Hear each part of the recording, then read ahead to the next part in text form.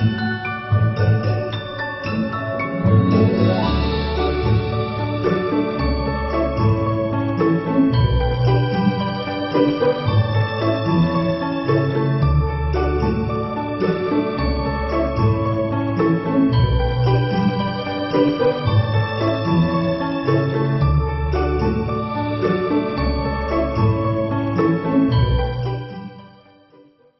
الله الرحمن الرحيم. في الوقت الذي أصبح فيه كل شخص يتساءل آه، عما عما وقع يعني في عصرنا الحاضر ومن أي من أين أتت هذه الأشياء يعني أمراض وما إلى ذلك. وفي وقت أصبح الناس كلهم يتساءلون عن طبيعة الأكل وماذا يأكلون وكيف يأكلون. فيعني نتكلم حول هذا الموضوع لنعطي بعض النصائح آه، لكل المستهلكين ولنعطي نصائح كثيرة هي في الحق- الحقيقة وقائية ولكن قد تكون كذلك علاجية. فطبعا لما نتكلم عن التغذية ولما نتكلم علاقة التغذية مع صحة الإنسان آه، يتبادر إلى الذهن آه، أشياء كثيرة وكل الناس يحذرون هذه الأشياء. ومن من جملتها أن النصائح الطبية الآن ترتكز حول الطاقة وحول السعر الحراري وحول الكالوريات. والنصائح الطبية الآن ترتكز خصوصا على الأشياء الآن ربما لا يفهمها الناس مثل الكوليسترول ومثل الشحوم ومثل الدهون وهو هذه نصائح تجاوزت وأصبح يعني عفى عنها الدهر. فالأمور الآن أصبحت تتعلق بطبيعة الأكل. هل هو أكل موسمي؟ هل هو أكل طبيعي؟ هل هذه الخضر آه، يعني مسقية بماء جيد؟ هل هذه الخضر يعني منتوجة في الحقل أو منتوجة في الدور الزجاجية يعني الدور البلاستيكية؟ أو هذه الخضر هل هي مغيرة وراثيا؟ هل هذه الخضر أصابتها مبيدات؟ وهل اللحوم لحوم طبيعية؟ هل الحيوانات تسرح؟ وهل اللحوم غير منتوجة بالهرمونات وهذه هي الأسئلة الآن التي أصبحت تحرج المستهلك وأصبحت تحرج الباحثين آه، في في هذا الميدان. فهذه الطرق العلاجية لخصناها في تقريبا أربع نقط وإذا اتبعها الشخص فإن شاء الله ربما آه، يقي نفسه من كثير من الأمراض التي هي الآن تشتبه. وعلى على الطب الحديث وربما تشتبه على كثير آه، من علماء العصر لأن الطب الآن لم يواكب الصناعات الغذائية ولم يواكب الإنتاج الزراعي ولم يواكب الإنتاج آه، يعني ال- ال- البيطري ولم يواكب كذلك التلوث البيئي آه، والتلوث البيئي هو يعني يعني الحقل شاسع وواسع جدا لأن هناك التلوث بالذبذبات والتلوث بالأشعة والتلوث بال- بال- بالدخان والتلوث بالغازات والتلوث كذلك التربة تلوث التربة ببعض ال- المبيدات وتلوث التربة كذلك بما يأتي من الماء وتلوث التربة بالسماد الكيماوي وما إلى ذلك. فهذا هذه كل هذه الأشياء سنلخصها يعني في أربعة أسس آه، أو آه، يعني أربع نقط آه، إن شاء الله. ونبدأ بالنقطة الأولى. فنقول لا يمكن آه، بتاتا وقطعا وإطلاقا لأي نظام علاج آه، أن آه، يعني يحقق علاج 100% أو علاج كامل آه، والجسم يتناول سموم. بمعنى أن إذا يعني لم تكن هناك حمية مصاحبة لأي نظام علاجي بما في ذلك العلاج الكيماوي وبما في ذلك العلاج بالأشعة مثل للسرطانات والعلاج الهرموني أو الانترفيرون هذا علاج يعني التهاب الكبد سي وعلاجات أخرى مثل الربو ومثل الحساسية وأمراض القلب والشرايين وكذلك أمراض الجهاز الهضمي وحتى أمراض الجلد آه، مثل الصدفيات يعني ومثل الإكزيما ومثل أشياء كثيرة من هذا القبيل. فلا يمكن أن يكون نظام علاج صائب وصحيح بدون حمية وبدون أن ينقطع الشخص عن تناول السموم. هذا هو الأساس الأول. هو يجب أن يتوقف الشخص عن تناول السموم أولا وهذه السموم هي كثيرة من حولنا حتى أصبحنا الآن في حرب كيماوية مع, مع, مع أنفسنا. النقطة الأولى الانقطاع عن السموم بمعنى يجب آه، على الشخص المريض يعني وحتى الشخص الصحيح لما لا؟ على الشخص المريض الذي يتابع علاج أو المصاب ببعض الأمراض أن يكف عن تناول السموم وهذه السموم هي موجودة في غذائه وموجودة في في المعلبات وموجودة في ما يلبس وموجودة في آه، يعني ال- مواد التصبين وموجودة مثلا في بعض أنواع العطور وموجودة في آه، أواني الطبخ وفي طرق الطبخ وموجودة كذلك في ال- ال- المواد التي يستعمل في الطبخ هل هو طبخ على الضوء أو على الغاز أو آه، بالذبذبات يعني الميكروويف. فهذه الأشياء يجب أن ينتبه إليها الشخص يجب أن يتوقف أولا عن السموم التي قلنا منها أولا السموم التي تأتي من من كيماويات التي تضاف للأغذية ومنها المضافات الغذائية بكلها الملونات والمنكهات والمحمضات والمجمدات والمحسنات مثلا للمذاق والمحسنات للون والمحسنات للتماسك والمحسنات للزوجة في الأغذية والمواد الحافظة من التأكسد مثل البهش أو البي أو البي تي التي تضاف إلى الزيوت وإلى المواد الدسمة وحمض البوريك الذي يضاف إلى الزبدة والسوربيك والبنزويك التي يضاف إلى الأجبان وإلى بعض أنواع النقانق وما إلى ذلك. فهذه السموم أولا يجب أن يحضرها الشخص الذي يتابع علاج ما كيماوي أو هرموني أو بالأشعة أو يعني بمضادات أو بأي شيء بعقاقير أخرى. وأمراض ربما تكون مستعصية مثلا مثل آه، التشنجات العضلية سكليروزيس هذه الأشياء يمكن لا يمكن لصاحبها أن يشفى وهو آه، لا ينقطع عن هذه السموم. أولا الأساس الأول يجب الانقطاع عن تناول السموم. منها كذلك المبيدات. المبيدات التي قد تصيب كل الخضروات وكل الفواكه ليس هناك خضر وليس هناك فواكه ليس فيها مبيدات. كذلك من يعني يمتبع المبيدات نجد كذلك هرمونات. والهرمونات توجد في اللحوم على الخصوص يعني هناك هرمونات موجودة في اللحوم أكثر ما هي موجودة في نبات لحوم دجاج لحوم مثلا الخرفان لحوم البقر آه، الآن لحوم حتى القنية الآن ولحوم بعض الأنواع من الأسماك مثلا الدول الأسكندنافية التي الآن تنتج أسماك في الأحواض فهذه الأسماك قد تمشي ببعض الهرمونات فهذه الأشياء يجب الآن آه، يعني أن على الأقل يكون الأشخاص لديهم فكرة بأن هناك هذه الهرمونات التي تزداد مع الكيماويات الأخرى. بعد يعني السموم التي تأتي من الطبخ يعني طرق الطبخ.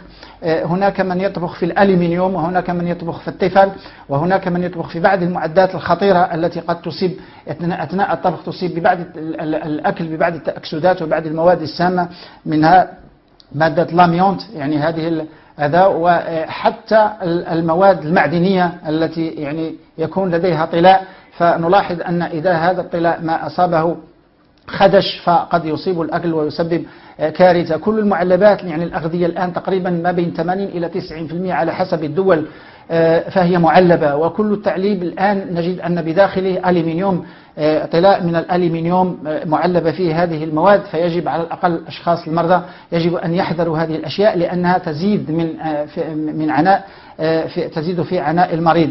آه، أشياء أخرى مثلا مثل الديوكسينات كيماويات تتكون تأتي من البلاستيك ولما يوضع البلاستيك مثلا في حرارة برودة يعني تحت برودة تحت الصفر في برودة تحت الصفر مثلا مثل التجميد فمادة الديوكسين تتكون أكثر من البلاستيك الذي يكون على حرارة عادية. فمثلا إذا وضعت الأكل في كيس بلاستيك أو في آنية من البلاستيك ثم وضعته على حرارة عادية فقد تتكون به كمية من الديوكسينات أقل من الكمية التي تتكون بنفس الأكل لو وضعته في المجمد. وهذه أشياء كذلك يجب أن تنتبه إليها لأن آه، الكيماويات هذه السموم التي تصيب الأغذية والتي تصيب الجسم فهي طبعا آه، آه، يعني تزيد من حدة المرض. ولذلك نجد أن مثلا بعد السرطانات التي يعالج أصحابها يعالجها أصحابها مثلا بالعلاج الكيماوي يعني ال chemotherapy أو بالهرموني ال hormonotherapy أو بالأشعة يعني ال radiotherapy. فهذه الأشياء قد لا تصيب يعني الهدف إذا ما كان الشخص لا زال يستهلك هذه السموم في تغذيته. هناك عامل آخر وهو كذلك عامل خطير. وعامل التغيير الوراثي الآن ونحن في عصر التغيير الوراثي لا ندخل في تفاصيل. هناك من يقول التغيير الوراثي له مزايا هناك من يقول ليست له مزايا. فأنا من الصف الذي يقول ليست له أي مزية. إذا كان التغيير الوراثي لإنتاج الأدوية آه، فنعم. لماذا؟ لأن آه، آه، هناك لا نأخذ الخلايا بل نأخذ ما تنتج الخلايا. الأدوية وكذلك الهرمونات مثل الأنسولين مثل السوماتوستاتين مثل البينيسيلين وما إلى ذلك. هذه أشياء ممكن أن ننتجها بالتغيير الوراثي لكن التغيير الوراثي لما يصيب الخضر ولما يصيب الفواكه ولما يصيب اللحوم ولما يصيب أشياء أخرى التي يأكلها الإنسان فهذا من طبيعة الحال لا يمكن أن يكون إلا خطر على صحة الإنسان. ونلاحظ الآن أن المنتوجات المغيرة وراثيا تزداد فيها مادة الأليرجين يعني المكونات أو المركبات الأليرجينات. الآن تزداد في يعني المنتوجات المغيرة وراثيا وتنقص الإيمينات. والإيمينات هي التي تزيد في مناعة الجسم وهي التي تقوي الأبوبتوز آه، في الجسم. فإذا انخفضت هذه الإيمينات وزادت الأليرجينات فيصبح الأكل خطر على الإنسان. والتغيير الوراثي الآن كل الأشياء المغيرة وراثيا هي فيها أليرجينات. والأشياء الطبيعية التي خلق الله سبحانه وتعالى ليس فيها أليرجينات إنما فيها إيمينات. وهذه أشياء كذلك خطيرة. يجب أن يحذرها الناس خصوصا وأننا نحن الآن في عصر تغيير ولايتي وأن مع يعني تحرير السوق الدولية فلا بد لا بد أن يكون هناك منتوجات مغيرة ولايتيا ستدخل. جميع الدول يعني بدون استثناء سيكون العالم شكل قرية صغيرة ويجب أن يحذر الناس هذه المنتوجات. رغم أن آه، في الدول الغربية مثل أمريكا وأوروبا هناك الرجوع إلى الإنتاج العضوي أو الذي نسميه نحن محليا في المغرب إنتاج بلدي يعني إنتاج طبيعي 100% لا يمكن أن يكون طبيعي 100% لأن البذور إذا كانت مغيرة فهو ليس إنتاج طبيعي ولو ينتج في أرض لم يصيبها سماد ويسقى بماء البئر وما إلى ذلك فيجب أن تكون البذور أولا طبيعية غير مغيرة وراثيا ثم الماء يكون طبيعي ثم التربة طبيعية والهواء طبيعي. نعم آه، نقول إنتاج عضوي. أما إذا كانت البذور مستوردة ومغيرة وراثيا فلا يمكن أن نقول أو نتكلم عن منتوج غير يعني طبيعي أو إنتاج عضوي.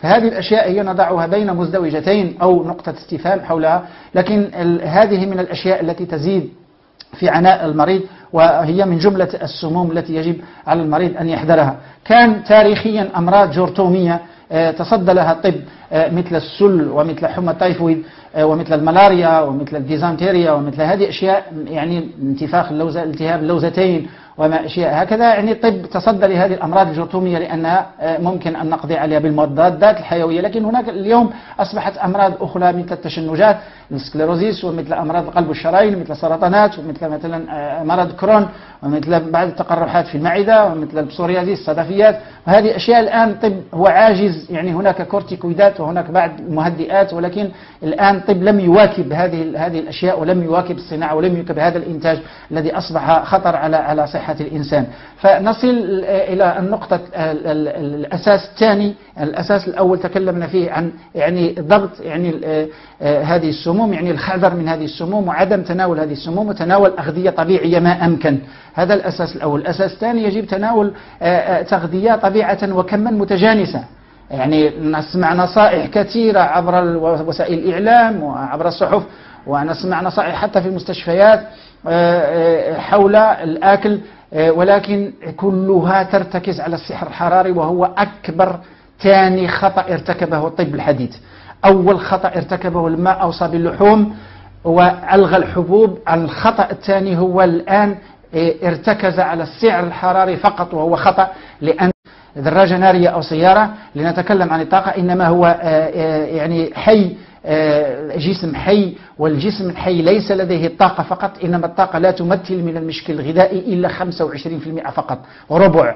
أما الثلاثة أرباع الأخرى فهي في الماء وفهي في المضادات للأكسدة لزونتي أكسيدون المواد التي تقي الجسم والمواد التي تضبط الهرمونات في الجسم والمواد التي تزيد في مناعة الجسم. فنرى مثلا أن الوجبات السريعة ليس فيها هذه المواد. الوجبات السريعة هي نفس الوجبة فيها مثلا بطاطس مشوي مع شيء من اللحم أو قليل من من السلطة مع خبز وهذه يعني الأشياء هي ليس فيها ما يقي الجسم من الأمراض مثل السرطانات. الأكل يجب أن يكون فيه سعر حراري بمعنى بروتينات والدهنيات والسكريات ومع هذه الطاقة يجب أن يكون فيتامينات وأملاح معدنية. والماء طبعا ثم لا ننسى المكون الأساسي الذي يقي الجسم وهي المضادات للأكسدة. والمضادات للأكسدة هم الفلافونويدات والبوليفينولات يعني المواد الدابغة التي توجد في الخضر وتوجد في كثير من الفواكه وهي الآن التي بطلها الناس. ثم هذه المضادات للأكسدة هي العمود الفقري للنظام الغذائي عند الإنسان. المضادة للأكسدة هي المواد التي تحفظ الجسم من الشيخوخة وتحفظ الجسم آه، من السرطانات وتحفظ الجسم من الحساسية وتحفظ الجسم من كل التقرحات وكل الزوائد وكذلك تقل أمراض تقل القلب والشرايين ويبقى الجسم على أحسن ما يرام. وكثير من هذه المواد يعني توجد في الفواكه وتوجد في الخضر وكذلك النبات. اللحوم ليست أصلية في النظام الغذائي. اللحوم هي أشياء ثانوية في النظام الغذائي ومن يقول أن اللحوم أصلية يخطئ ويكذب على الناس. الأصل في التغذية هو الحبوب.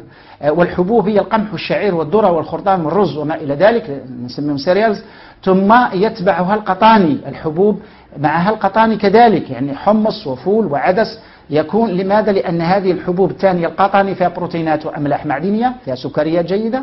والحبوب الأخرى يعني القمح والشعير والذرة هي نشويات نسميها نشويات هي فيها آه، يعني الألياف الخشبية وفيها كذلك جزء من البروتينات وفيها فيتامينات وأملاح معدنية. ويكون النظام متكامل. الخضر ليست هي الأولى كما ينصح الأطباء خطأ إنما الخضر هي الثالثة.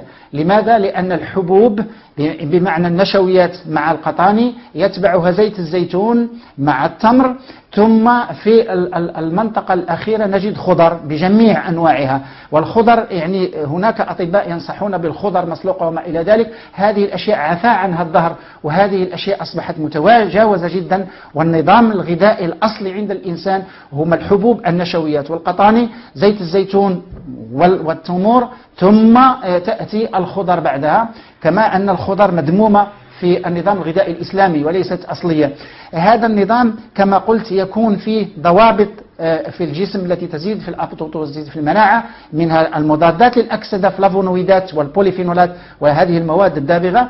معها ضوابط الهرمونات وهم الأستروجينات النباتية. أستروجينات نباتية الموجودة مثلا في البسبس والموجودة في الحلبة والموجودة مثلا في الخردل موجودة في كثير من الحبوب وهي كذلك انزواء عن الناس لا يستهلكون الناس هذه الحبوب فيجب أن تكون داخلة كذلك في الأكل.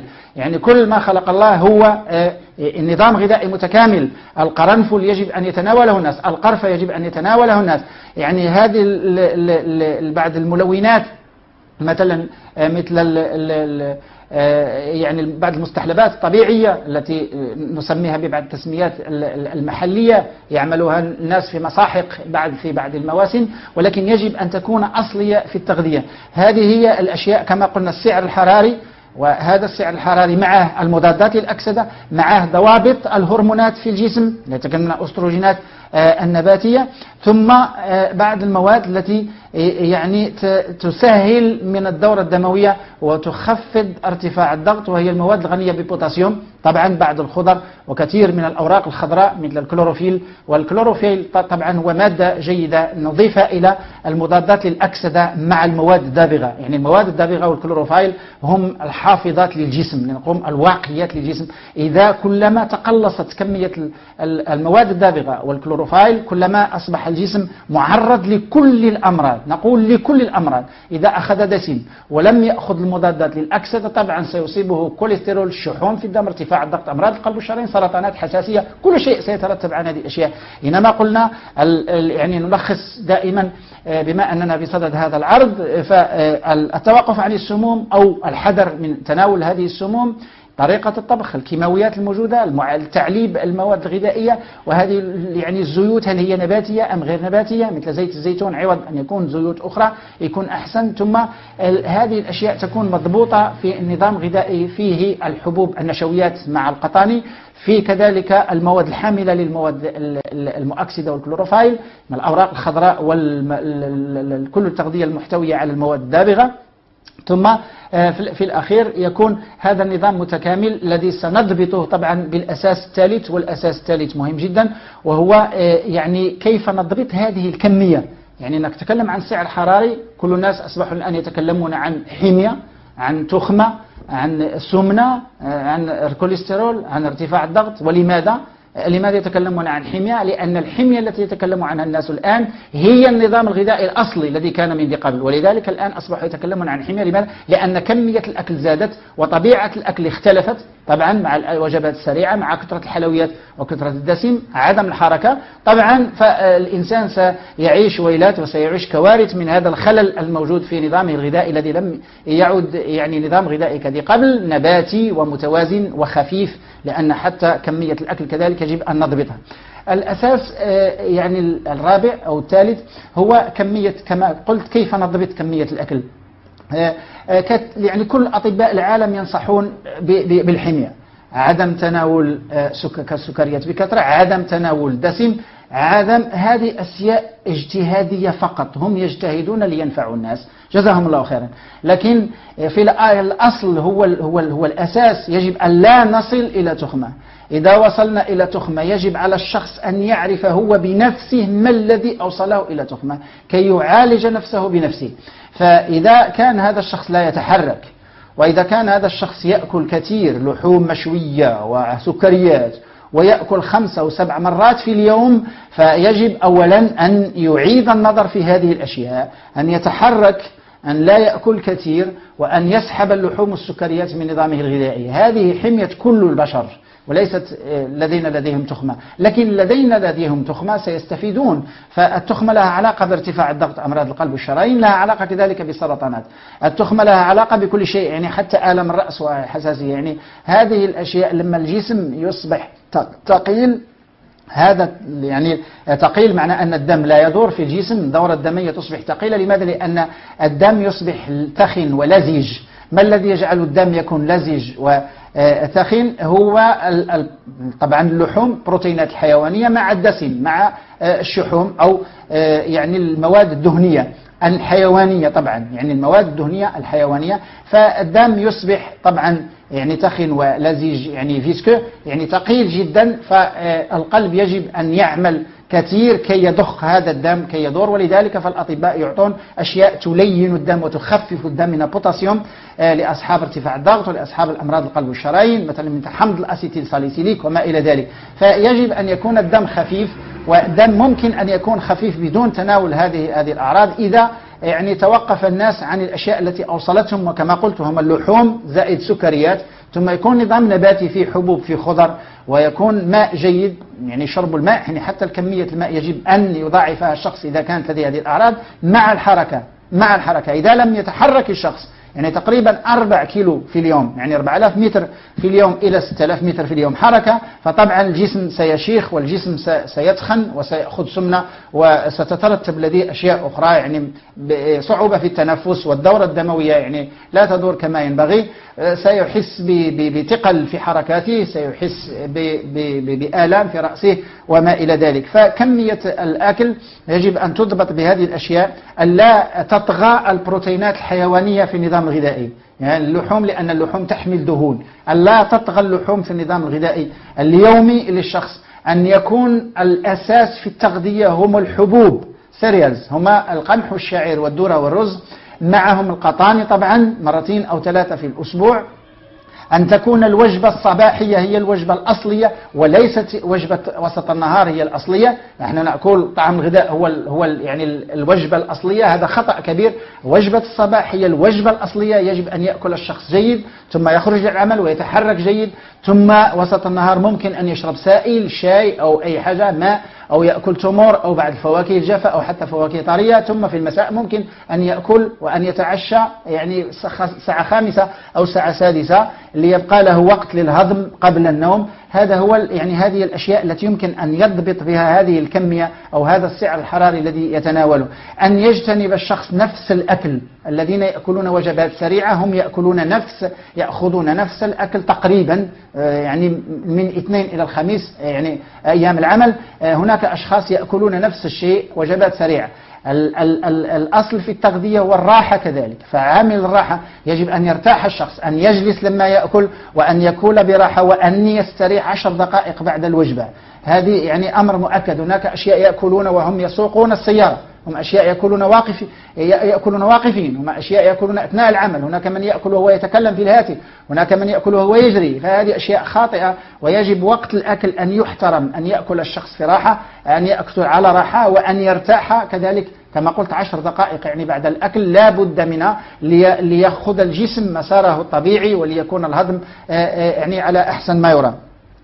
هذه الأسس يعني لخصناها كما قلت يعني تفادي السموم تناول السموم كما قلنا هم المضافات الغذائية هم المنتوجات المغيرة وراثيا هم المواد المعلبة يعني مواد التعليب آه، من بلاستيك ومن ألمنيوم ومن أشياء يعني من هذا القبيل أن يحذر الناس هذه الأشياء فهي خطر على الجسم وكذلك آه، أساليب الطبخ. هل الطبخ بأفران الغاز أو بأفران الضوء؟ هل الطبخ بالشي في الزيت أو الطبخ كما مع خضر واللحم مع المرق؟ آه، هل الطبخ أصبح سريعا؟ هل يطبخ مباشرة على النار؟ هذه أشياء كذلك قد تزيد آه، يعني في في في المسألة وقد تزيد في المرض وقد يعني لا تريح يعني هذا المريض خصوصا إذا كان تحت العلاج.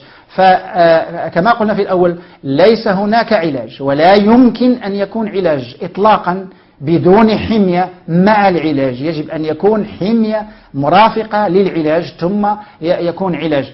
تناول بعض المنتوجات آه، يعني الجيدة التي يجب أن تدخل ضمن النظام الغذائي ومنها يعني الأساس في في النظام الغذائي هو زيت الزيتون ومنها تمور يعني التمور وزيت الزيتون هي أصلية في التغذية وليست تمور يعني مرة مرة يأخذ الإنسان إنما التمور أصلية في التغذية لأنها تحتوي على ألياف خشبية ملينة للجهاز الهضمي وتحتوي على مكون الفيتامين بي وعلى اليود وعلى بعض الهرمونات النافعة للأطفال الصغار على النمو. هي يعني عوامل النمو موجودة موجودة في التمور. ثم زيت الزيتون لأن زيت الزيتون هي التي تصلح الجهاز الهضمي والأشخاص تحت العلاج بالكيماوي يعني سرطانات الذين يأخذون chemotherapy يجب أن يتناولوا زيت الزيتون يوميا بمقدار 50 إلى 100 ملي في اليوم لأن زيت الزيتون تحفظ الجسم من تسمم بالعلاج الكيماوي أو العلاج بالأشعة.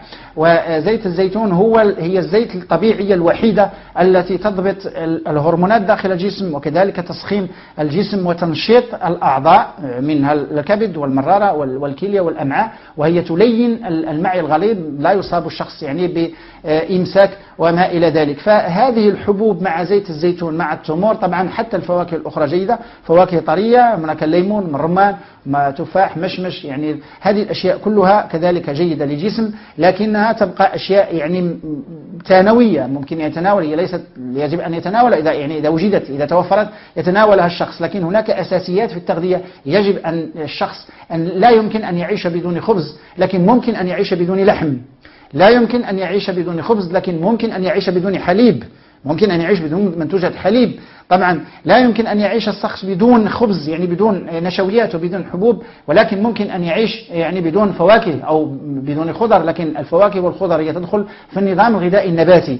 فهذا هو الأصل لأن الكارثة الأولى كما قلنا الخطأ الأول هو أن لما ارتكزنا على الأزوت يعني على النيتروجين الداخلي ويعني كانت ترتبت هذه النصيحة على ظهور كوارشيكور آه، في قال الناس يعني ال malnutrition يعني سوء التغذية آتي من البروتينات. فقالوا ننتج بروتينات حيوانية هي اللحوم فسحبوا الشعير والذرة من التغذية البشرية أو الإنسانية ثم علفوه للحيوان كي نأكل اللحم. فلما سحبنا الشعير والذرة وأخذنا اللحوم فيعني آه، ليس هناك كوارشيكور والأمراض الجرثومية مثل الملاريا والتايفويد يعني والديزانتيريا والسل وما إلى ذلك هذا أخذنا بالمضادات. ثم ترتبت أمراض أخرى هي أخطر من الكوارشيكور من أمراض القلب والشرايين من السرطانات من ارتفاع الضغط من الكوليسترول ويعني من الشحوم في الدم وآلام المفاصل يعني التهابات. هكذا يعني مثل التشنجات العضلية وما إلى ذلك. فهذه كانت نصيحة خاطئة لأن الأصل كما قلنا أصل التغذية ليس لحوم. والذين جعلوا أصل التغذية لحوم هم الذين ينصحون الآن بأكل النخالة تناول النخالة. فسلكوا هذا المسلك انطلقوا من سنة البشر ووصلوا إلى سنة الحيوان لينصحوا أخيرا بالنخالة. يعني كل علماء التغذية الآن ينصحون آه، بهذه الألياف الخشبية. dietary fiber لأن الألياف الخشبية الآن هي أصل التغذية وهي التي تقي الجسم من كثير من الأمراض بما في ذلك السرطان. والألياف الخشبية موجودة في الحبوب وموجودة في الخضر وموجودة في التمور يعني في الفواكه وما إلى ذلك. فهذه الأشياء كما قلت حتى خشاش الأرض هناك أشخاص لا يتناولون بعض الحبوب هي جيدة ولكن لا يعرفونها ما هي. حبوب الكتان لا يعرفها الناس ما هي. والزنجبيل يعني يعني السمسم لا يعرفونه الناس إلا نادرا. يعني هذه الحبوب يجب هي الضابطات هي الضابطات.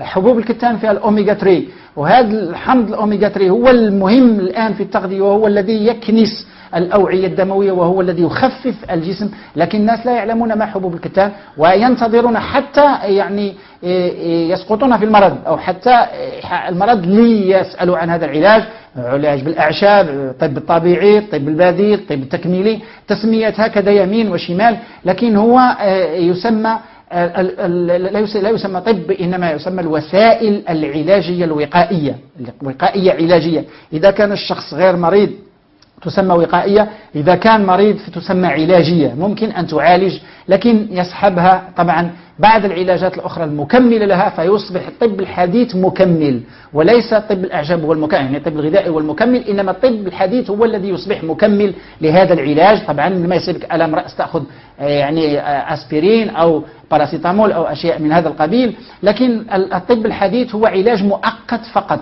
وليس علاج مطلق علاج مؤقت لكي تلقى العلاج أنت بنفسك. فيجب على الشخص أن يعرف أسباب الأمراض يعني هذه السموم الذي يتناولها كيفية الأكل كيف يأكل؟ يعني وقت الأكل وراحة الأكل والطريقة التي يأكل بالطريقة التي يطبخ فيها وما هي طبيعة الأكل؟ هل هو معلب هل هو مصنع؟ هل هي وجبات سريعة؟ هل هو مطبوخ في المنزل؟ هل هي فواكه؟ هل هي قطاني؟ هل هي هذه الأشياء يجب أن نضبطها ثم هناك معلومات الآن الأشخاص لا يعرفونها خصوصا سكان المدن وهي موسمية الإنتاج. فالخضر موسمية لكل خضرة موسم. يعني بعض الأشخاص يشترون خضرة خارج موسمها لما تخرج خضرة عن موسمها فهي ليست طبيعية وفيها مكونات ربما تصيب الجسم بأشياء أخرى. فهذا الشخص إذا علم هذه الأشياء ويعني حفظها جيدا فسيعلم كيف سيشفي هو نفسه وكيف سيعالج نفسه على أساس يعني على هذه الركائز الأربعة أو هذه الأسس الأربعة التي أعطينا.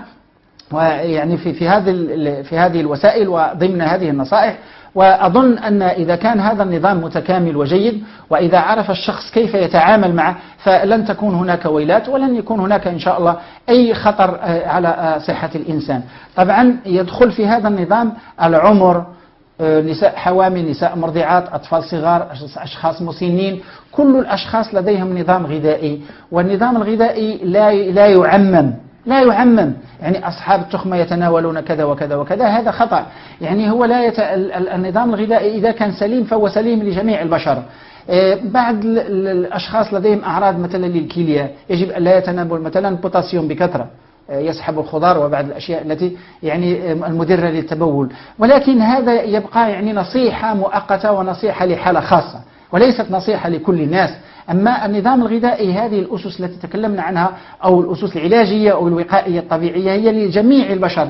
يعني من الرضيع؟ يعني إلى المسن 90 و100 إن شاء الله و120 سنة. وكذلك للمرضى حتى المصابين ممكن أن آه، يعني يرفقوا العلاج الطبي بهذه الحمية أو بهذه الطرق كي يحصلوا على علاج آه، نهائي. لكن لما يحسوا بأنهم على أحسن ما يرام فيجب أن يتبعوا هذه الأشياء. فهي ليست مؤقتة هي مطلقة ليست مؤقتة. يقول س يعني س يعني أنقطع عن تناول اللحوم لمدة حتى أشفى ثم أرجع أعود إلى اللحوم. لا خطأ. فيجب أن اللحوم آه، لا نحرمها وليست حرام. آه، لكن ليست أصلية في التغذية. اللحوم مع المناسبات مرة في الأسبوع أو مرتين. يعني إذا كن دعاك يعني صديق وتقدم لك لحم طبعا فنأكل في هذه الحالات نأكل لكن أن تكون أصلية أن تكون في وجبتين في اليوم أو أن تأكل اللحم مرتين في اليوم فلا يمكن للجسم أن لا يكون مريض. لا يمكن بالبتات مطلقا. لماذا؟ لأن آه، يعني خلل في طبيعة الأكل نبات مع مع الحيوان والبروتينات. الحيوانية كلها يعني بروتينات تثقل الدم طبعا لأن فيها شحوم وتثقل الدم ويعني ويعني وتصيب الجسم ببعض الارتخاءات يعني بعد الثقل الذي يصيب الجسم يعني لا لا يؤدي دوره كما ينبغي لأن الوظائف كلها آه، هي لها علاقة ببعض وطبعا لما يعني تعيا وظيفة فهي تصيب الوظائف الأخرى. فهذه هذا النظام كما قلنا الذي لخصناه في أربع نقط.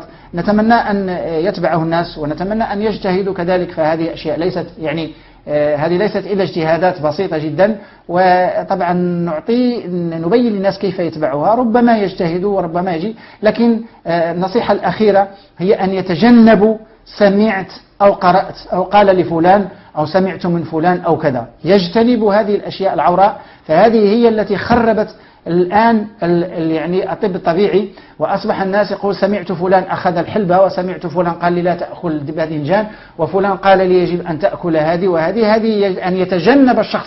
رأيت في تلفزيون أو سمعت في إذاعة أو قرأت في صحيفة أو على الأنترنت وجدت كذا وكذا. فأن يعرف الشخص المكان الذي يوجد فيه.